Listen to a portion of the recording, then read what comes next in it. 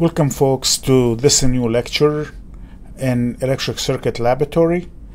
In this lecture we are going to discuss lab number 3 and lab number 3 basically deals with the concept of equivalent resistance, voltage divider and current divider. So here is the lab objectives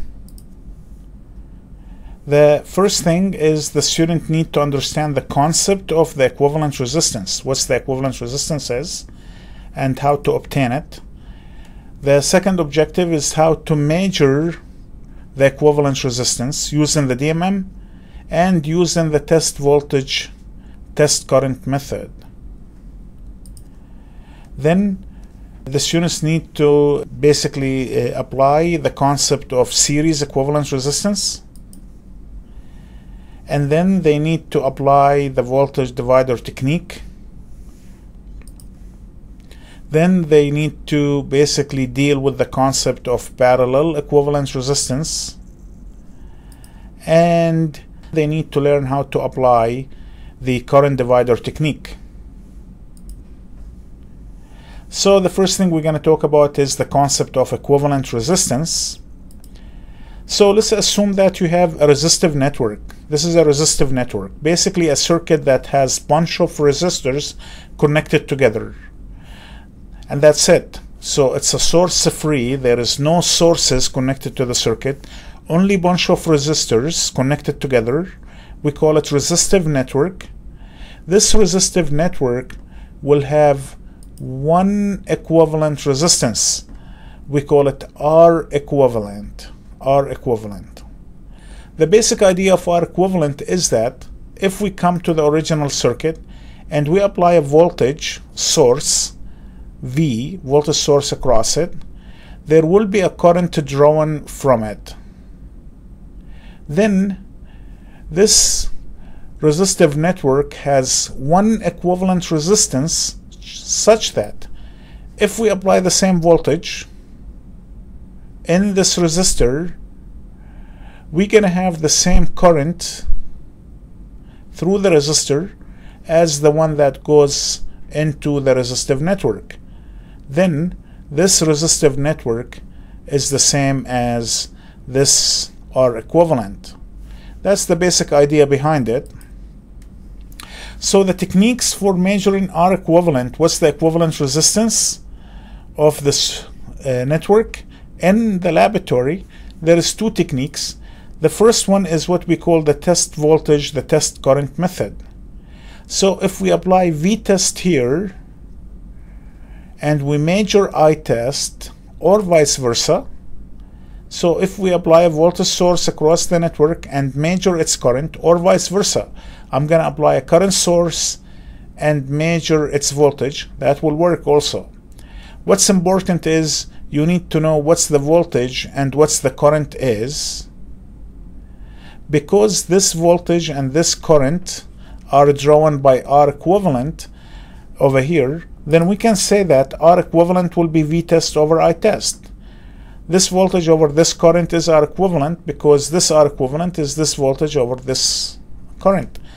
So Basically, the first technique to find R equivalent is to apply a V-test, measure I-test. We're going to say that R equivalent will be V-test over I-test. This is extremely important technique that students need to understand it and they're going to use it in this lab. This is one of the ways we going to find R equivalent is basically to apply V-test and measure I-test. The second technique is basically using the ohm meter, which is the DMM. I will connect the DMM across the resistive network. But what the DMM does is the same thing. It's going to basically send a current and measure the voltage and it will basically say that the voltage relates to the measured voltage relates to the resistance itself right so v over i is r equivalent from practical purposes we say that use a dmm to measure the uh, resistance across the network so those are the two techniques that we're going to use in the lab to measure R equivalent, uh, which is basically very straightforward. Now this lab has three experiments.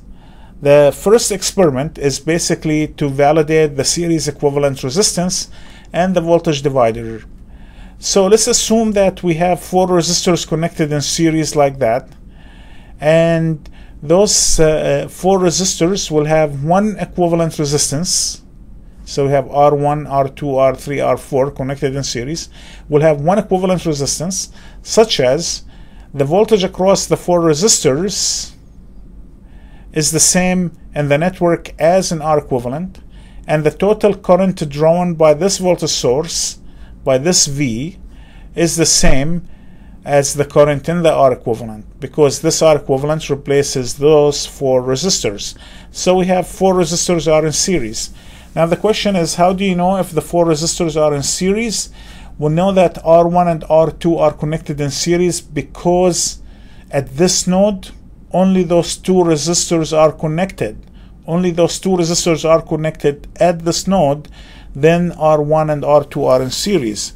So if you look at the current I, as the current I go through R1, it's the same current that will go through R2. So R1 and R2 have this node and no one else has it so they are in series because the same current that flow from R1 will flow into R2 by the same token R2 and R3 are connected at this node only R2 and R3 are connected at this node that means the current that goes through R2 is the same as the current that goes through R3 those two resistors are connected in series.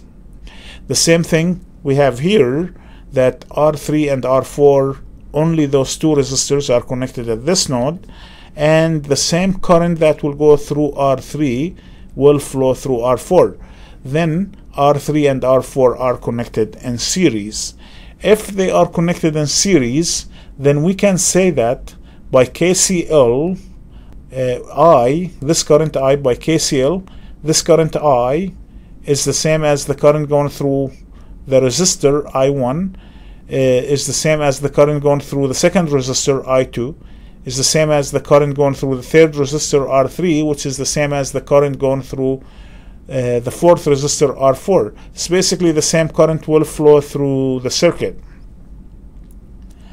Now also we know by Ohm's law if we apply Ohm's law we know that V the voltage V which is the same as the voltage V here will equal to I times R equivalent because this voltage is the same as this voltage and this current I is the same as this current I then V will equal to I times R equivalent. This V will equal to I times R equivalent. And we also know that V1 will equal to I times R1. It's the same current going through, so I times R1 will be V1, and V2 will be I times R2. That's what we have here and V3 will be I times R3 and finally V4 which is here will be I times R4 it's the same current going through the circuit and then the voltage is going to be given by Ohm's law like that. Now we're going to apply KVL summing the voltages. KVL means Kirchhoff voltage law. We're going to sum the voltages around this loop.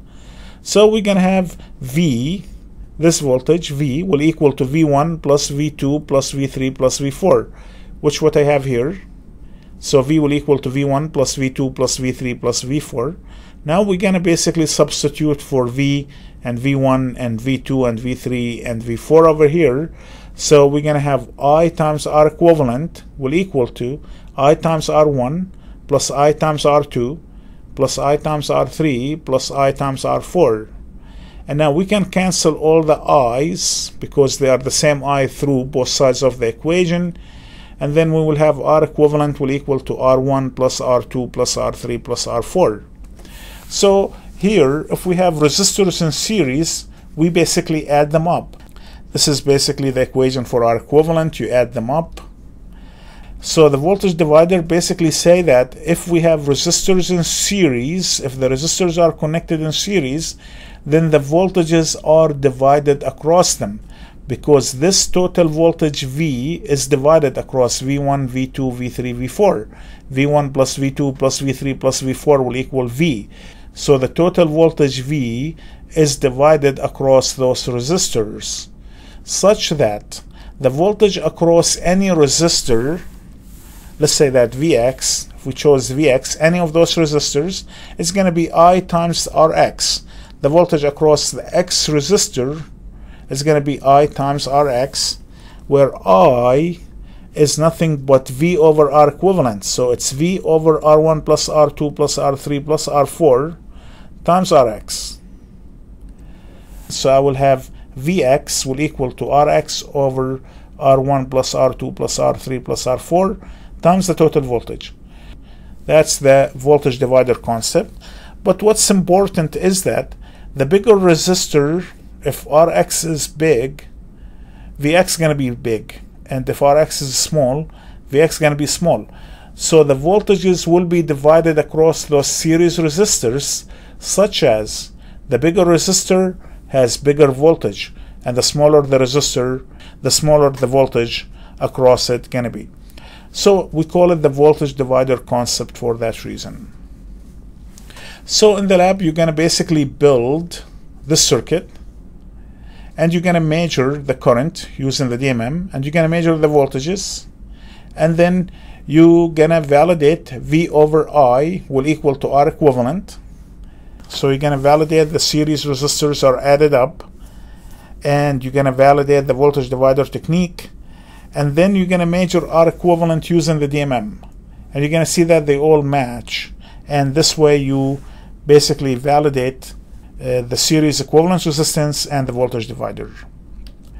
The second experiment basically going to deal with the parallel equivalence resistance and the current divider technique.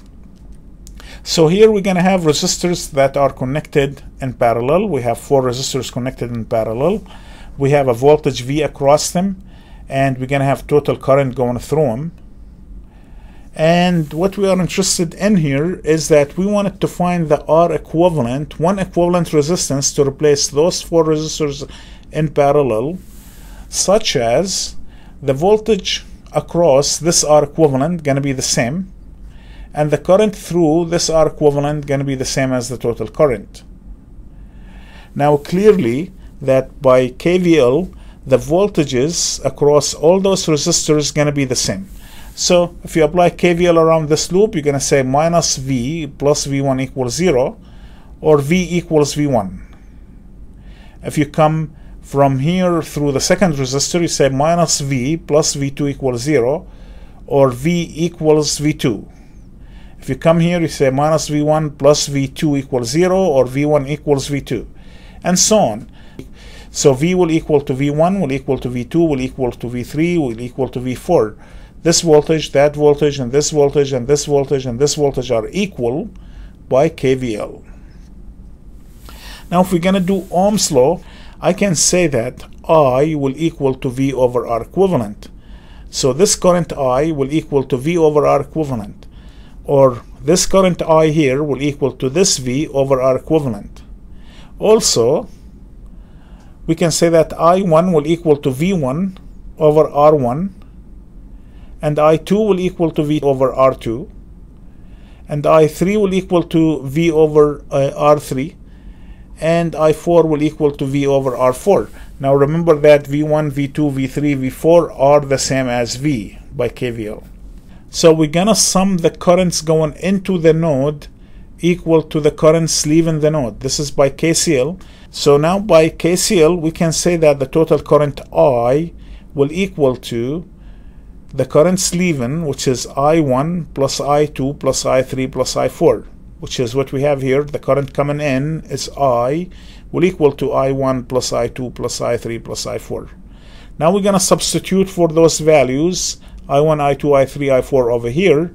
So we're going to have V over R equivalent will equal to V over R1, that's for I1, V over R2, that's I2, V over R3, that's I3, and then V over R4, which is I4. Now we can cancel all the V's, basically divide by V both sides of the equation. This basically will lead to 1 over R equivalent will equal to 1 over R1 plus 1 over R2 plus 1 over R3 plus 1 over R4. This is the equivalence resistance for four resistors in parallel. And basically, it is the sum of the reciprocal of the resistors.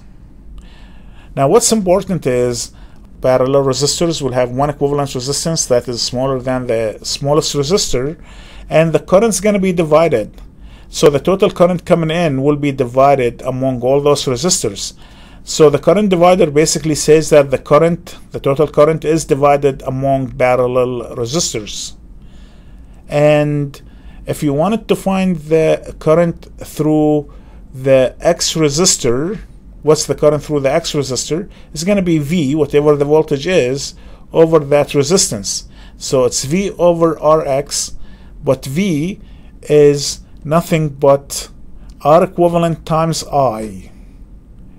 So then Ix will equal to R equivalent over Rx times I. And the current is divided such as if Rx is small, Ix going to be bigger value. If Rx is big, Ix going to be smaller value. So when the current is divided, the smaller resistor will get more current. We can state that more current will flow through the smallest resistor when the resistors are connected in parallel. This is the current divider concept. So in this lab, in this experiment, you're going to build this circuit and then you will be able to measure V and I and then from here you can find what R equivalent is which should match the calculated values for R equivalent using this equation and then you're going to measure the currents through each resistor and validate the current divider concept. That's what you're going to do in the second experiment. The third experiment is very simple. Basically you're going to have a network and you're going to measure the resistance the equivalent resistance across this network using two techniques the DMM technique and the V-test I-test technique. So we're going to have a circuit like this uh, finding R equivalent of the circuit is not straightforward. You have to use delta Y conversion because this connection over here looks like a delta. So this is a delta or what we call the pi. So you need to convert the delta connection into a y and then find R equivalent. But in this lab basically you're going to build a circuit and to measure R equivalent you basically going to use two techniques the first technique is using the ohm meter so I'm going to connect the DMM across the resistive network and uh, the DMM will give you the R equivalent and then you're going to apply V-test across the network will equal to 10 volts and you're going to measure the current I test how much current is drawn from the voltage source. And then you're going to say that R equivalent will equal to V test over I test. They should match and then analytically you can solve it by basically using the delta Y conversion and then you're to combine parallel and series resistors and you will be able to find R equivalent. So in this lab, you validated the concept of uh, series equivalence resistance, voltage divider, the concept of parallel equivalence resistance, current divider, and how to measure an arbitrarily uh, resistive network using the DMM or the V-test I-test method. I hope you enjoyed this video and thank you so much.